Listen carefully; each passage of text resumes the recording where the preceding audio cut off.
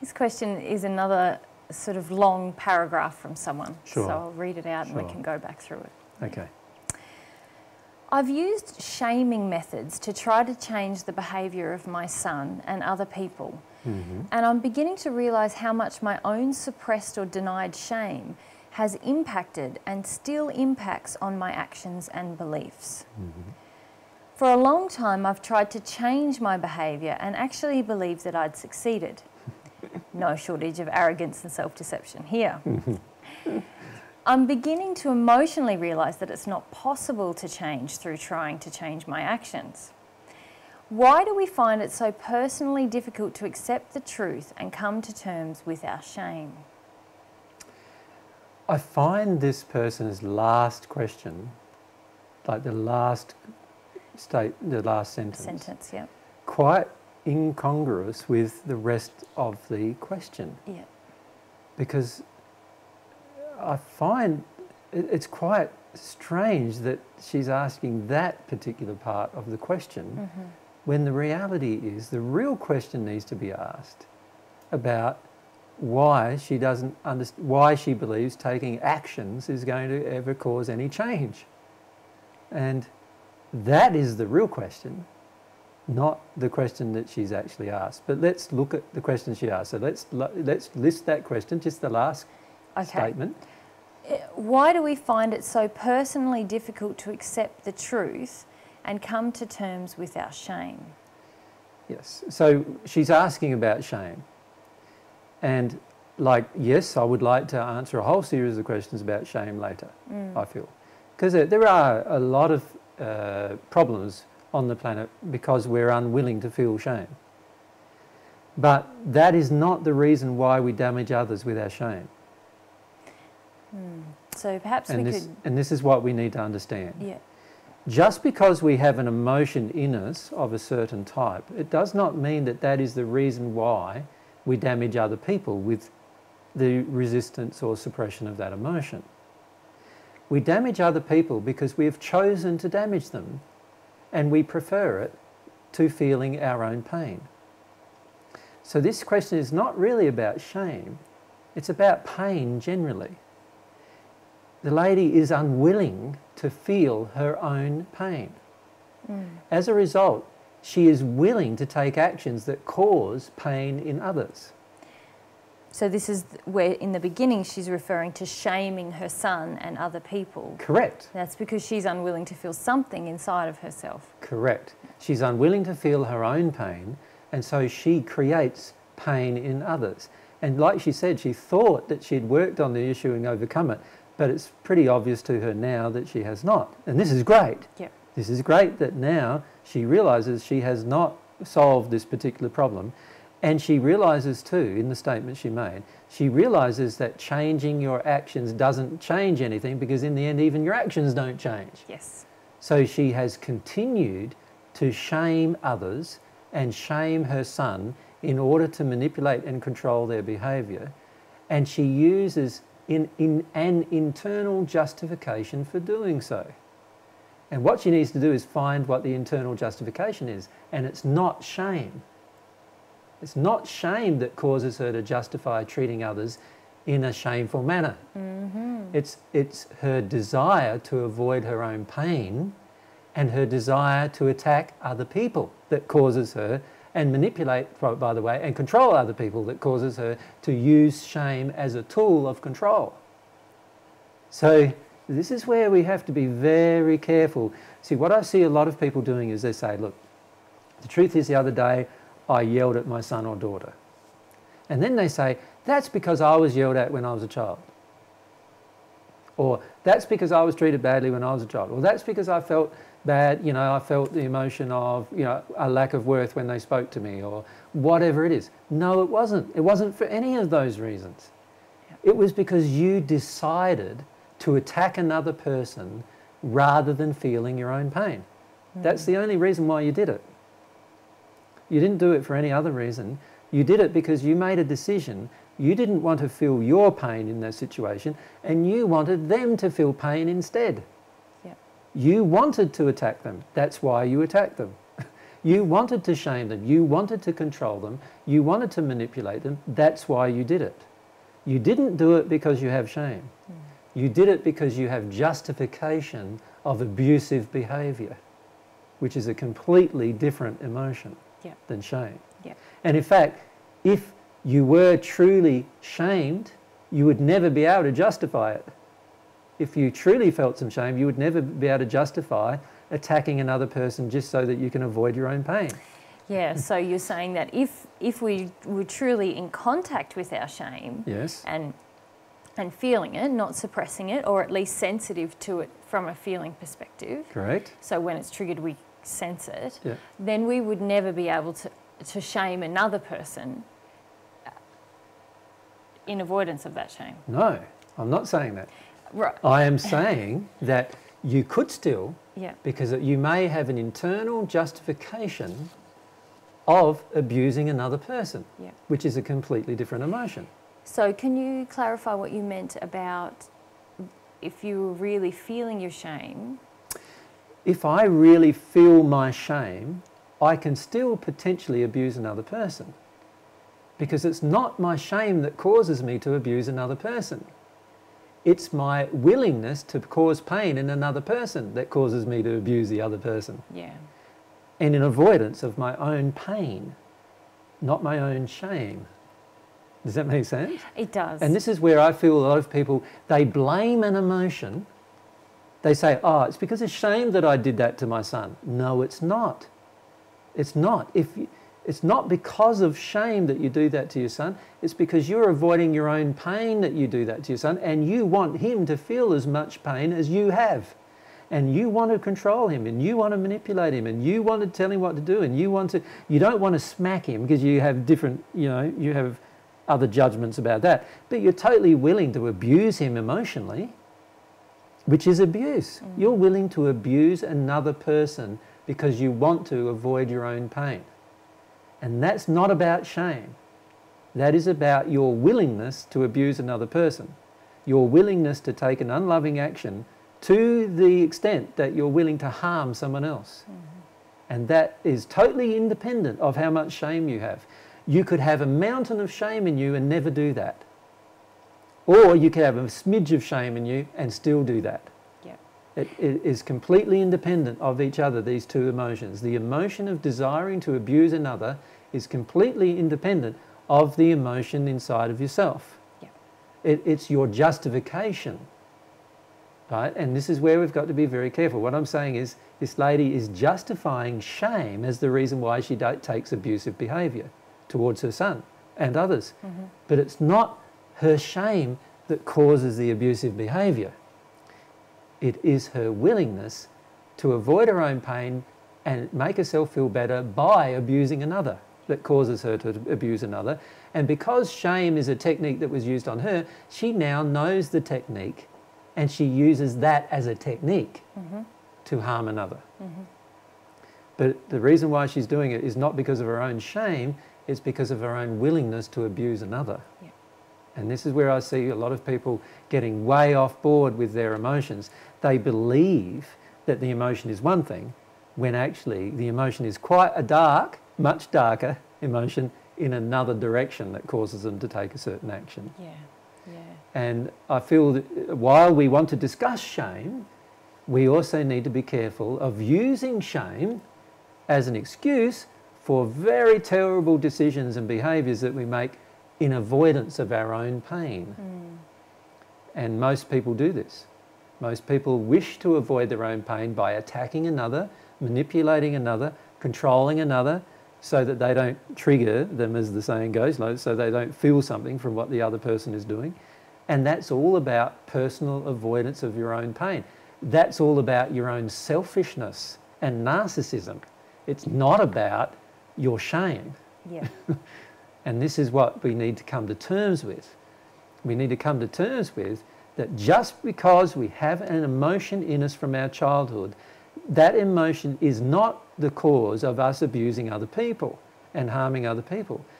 That emotion is an excuse we often are using to abuse other people, but it is not the cause.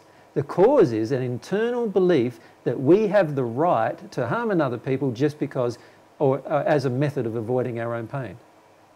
That's the cause. And that's a completely different emotional cause Mhm. than the internal shame the woman is experiencing.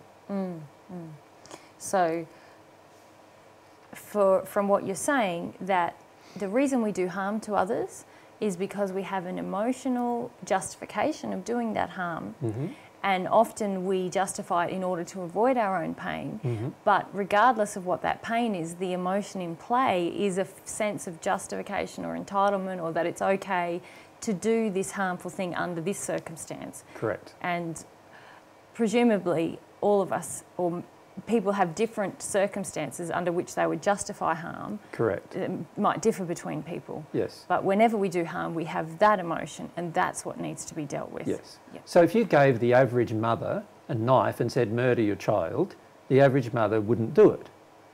But if you get the average mother pregnant and she doesn't want the child, she is willing to do it. Yeah.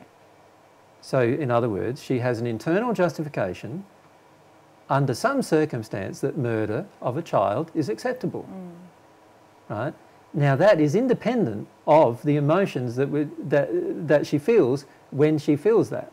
Yeah. So, in other words, when she feels like the reasons why, she will use a whole heap of tools of justification. And that is, I can't cope with uh, having the child. Well, have the child and give it away. Mm. You know, there's plenty of people who don't have children who want to have a child. Mm-hmm. Give, it, give it to them if you don't want to have it yourself. Yeah. You know, oh, but I couldn't do that because then I wouldn't be viewed as a bad mother. Well, feel that. feel that you're not a good mother Yeah. Yeah. if you need to feel that. Oh, I couldn't do it because, you know, the man I got pregnant to, I don't like him very much and he, this child will tie me to him the rest of their life. Okay, we'll take some responsibility of that and feel that. yes. Feel that emotion of what it's going to be like tied to that man for the rest of your life, a reminder of one of your immoral acts Yeah. for the rest of your life. Yeah. Feel what that feels like. But she, she doesn't want to feel any of those things. And instead, she's willing to justify the murder. Mm. And it's the justification of the unloving act which is going to darken her soul more than the actual emotions in her that were there prior to Yeah. the, the event. Yeah. So, you know, this is the problem that we face is that quite often we say or want it to be reasonable Mm-hmm. to do certain things. And it's never, so in this case, it's never reasonable to abuse your own children emotionally, physically, sexually, or any way, in any way. It's never reasonable. And yet most people do it Yeah. in some way. Why do they do it? Because they don't want to feel their own pain. And they feel they'd like to take their pain out on someone else. Mm-hmm. And that's very different than actually identifying the emotion of shame as the cause. Yes. So this is where I feel it's very important for a person to understand that. Yeah, I feel that's very important, and it is the case not just with our children, but anyone that we choose to harm. Correct. We obviously have a feeling that that is justified in that case, Yes. and that is what we need to deal with first, isn't it? Yes. We need to look at the internal justification for the unloving act. Mm. And, and we have amazing justifications for unloving acts. And a lot of our justifications we believe are reasonable. Yeah. We believe that they, that, that they, if we didn't believe it, we'd never do it. Mm-hmm. So we do believe they're reasonable. So the woman who aborts the child believes the justification for the abortion is reasonable. Well, even if you use that example of giving a mother a knife and saying to her, Kill your, kill chil- your child. And if you um, use a different example of giving a mother a knife and saying someone else wants to kill your child, she might very she might not ever feel justified in murdering her child, but she might feel justified in murdering, Murdering the other person. the other person Exactly. Who is somebody's child. who's somebody's child. Exactly. Yeah. Um, and society would also, Poss- Possibly justify it. yeah, a lot in of fact, in fact, would justify in many that. countries of the world, there's still the death penalty. So, of course, in every one of those countries, the, the majority of people justify it. Yeah. Yeah. So, Yeah. so they justify, uh, from God's perspective, an unlawful act Mm-hmm. in order to prevent them from feeling certain emotions. Yeah. That's Yeah. all they're doing. Yeah. And this is something that we need to understand. We're just justifying things all the time. We're justifying unloving acts all the time. And we need to stop doing it Mm. if we're ever going to change. We need to look at the reasons why we justify it. What fears drive these justifications? And shame is a causal emotion, it's not fear. Yeah. Completely different. Yeah. Yeah. So the, the lady attacking her son emotionally by shaming him and to, which controls him and manipulates him, that is, that is an unloving act driven not by her shame but by her fear. Yeah. And it may be the fear of her shame or her Oh, highly the unlikely, fear of other pain, Yes. mightn't it? Fear of other pain. And she's using shame as a, a convenient As a for want of convenient scapegoat Yeah. To, to avoid the real feelings. But regardless of what the real thing is we're avoiding, the thing to deal with is the fear of that thing. Correct. Yeah. And the only way you can deal with the fear of that thing is to deal with your rage of that thing and the mm-hmm. addictions of that thing. Yeah. And then you'll get to your fear of that thing. Well, part, partly your addiction is feeling that it's okay to harm another when that emotion, when an emotion is triggered. Is that right? Well, I'd say that's the rage perspective. the rage. yeah, so it's okay to harm someone when your addiction is not met. So Yeah. let's say a person has an addiction for safety. Yeah. When that addiction is not met, in other words, they feel unsafe, now they feel justified to murder somebody. Yeah. So, so you know, in the case of a child, uh, of a mother with an, abor- with an abortion, she's okay normally. She doesn't go around murdering people. But when her fear is triggered, and and her addiction is no longer going to be met, now she feels justified in murdering a child that's yet unborn, Yeah. who has no control over the situation whatsoever. And yet, if that child was born, she would be convicted as a murderess and probably looked down upon by society for many, many years, right? And yet, when it's unborn, she has the justification that it's unborn, it's not a real child yet, I can get away with it, right? And these are all how, this is all how far we'll go in our justification. Yeah. We will murder in our justification. Yeah. The average person, the average person will murder in their justification. Yeah. And unless you're willing to release the causal emotional reason why that's the case, you will justify really bad behavior that causes the degradation of your own and other people's soul. Mm. And some of that justification can be created just through the belief that I shouldn't have to feel fear. Yeah, I shouldn't And- have to. I shouldn't have to feel fear. I shouldn't have to have some kind of inconvenience. I shouldn't have to have some kind of discomfort. I shouldn't have to like and that's arrogance. Yes. That's also a lack of personal responsibility. So they're not shame-based emotions. They're different emotions mm-hmm. that are causing that action. Mm. So this is why you know I find this question quite interesting, and uh, and, and here I'm not judging the woman. I'm just stating that this is uh, an illustration. It's a great illustration, in fact, of how people want it to be one emotion that's causing their problem, and even justifying that one emotion as the cause of their problem, while at the same time not realizing no, there are much darker emotions driving this action that you're engaging in regularly than just this emotion of you know shame or whatever it is that Yeah. they feel that is the main causal problem. And, and this is where I don't agree with the average concepts of most uh, psychologists and psychiatrists and everything that shame is the major cause of unloving behaviour. I don't agree with that. I, I, I do feel is, it, it is certainly a participant Mm-hmm. in causes of unloving behaviour. And surely it's the avoidance of shame rather than the feeling of shame. Correct. Yeah. It is the avoidance of any painful emotion that causes unloving mm-hmm. behaviour. And we need to stop avoiding painful emotion. Then we will not, you know, once we stop avoiding painful emotion, we will then not engage unloving behaviour so readily. Yeah. You know, we'll feel the unloving emotion instead. That's what we will do. We will feel the underlying emotion. And this is where we need to go so, as a society. We need to stop justifying behaviour through belief systems that is unloving, and we need to start saying no behaviour that is unloving is justifiable mm-hmm. under any circumstances. Mm-hmm. And then we need to start looking at ourselves and saying, okay, internally I have feelings that they are justifiable. I need to get those feelings that are inside of me and work through my anger and my addictions and my fears associated with those feelings so that I no longer justify these unloving behaviours. Yeah. And that is completely separate to our processing of shame. Fantastic. Yeah. Thank you. So I feel we'll answer questions about shame later on, but I just wanted to address this feeling of using an emotion to uh, justify unloving behaviour and basically using an emotion as an excuse Yeah. to justify unloving behaviour. And this is self delusion. So it's interesting in the statement or the question this lady asks, Yeah. she's acknowledging that she has been in self delusion and arrogance, Yeah. Yeah. but just not acknowledging how bad it goes, how, how deeply it is rooted inside of her. It's Yeah. so deeply rooted that she's willing to use uh, an emotion of harm to, to damage her own child Mm-hmm. in order to control and manipulate his behaviour. Yeah. That's how strongly entrenched her belief is that she should be able to avoid her own pain Mm. and, and her willingness to attack another person and make them feel as much pain as she feels. Yeah. And that, that, that is a very unloving course of action.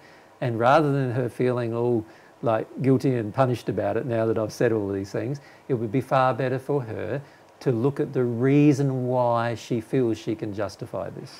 Yeah, and look, I think this is such valuable um, information for all of us Mm-hmm. because all of us at the moment are taking unloving actions, and that's ha- and we- justifying it. and justif- well, we have to be justifying it in order to do it. exactly. And that's such an important dynamic to recognise and Yeah. to not get caught up in this idea of throwaway comments like, "Oh, I did that because of my shame," or because of you know, I that happened to me as a kid, so I did it again. Yeah, You know, and it didn't happen. Like the uh, per, under those circumstances, every single sexual abuser would, uh, every person who's been sexually abused would be a sexual abuser, and that's not the case. no.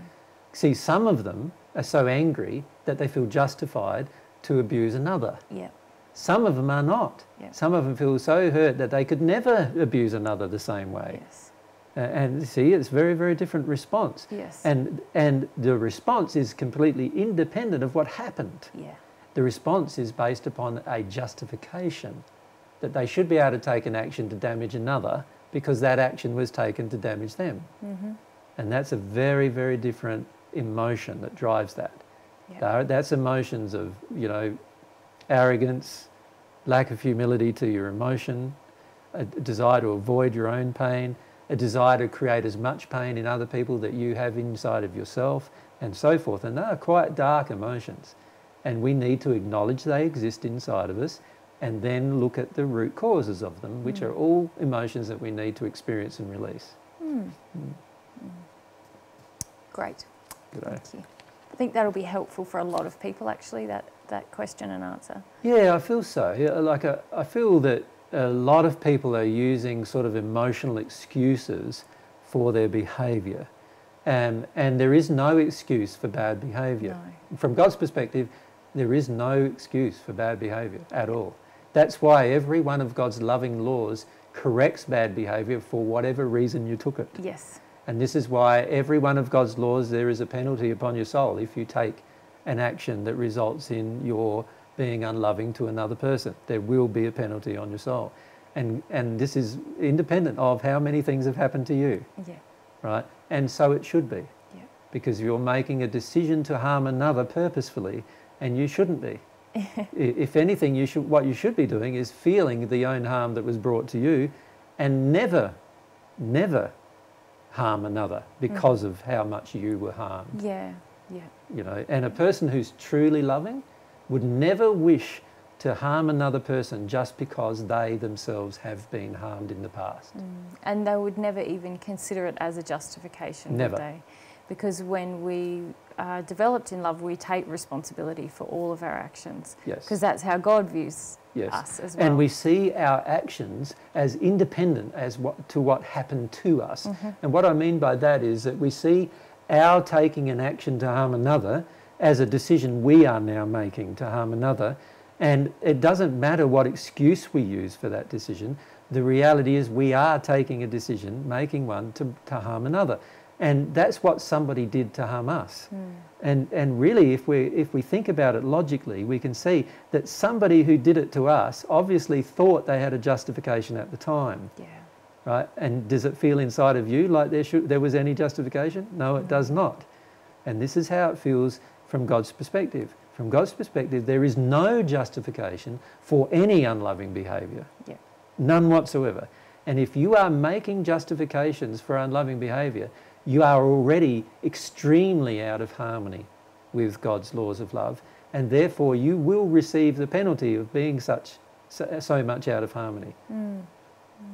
Yep. It's very, very damaging to believe that you have the right to harm another just because you have been harmed, Yeah. even by that person. Yeah. Mm. Yeah. Yeah. Great. Thank you.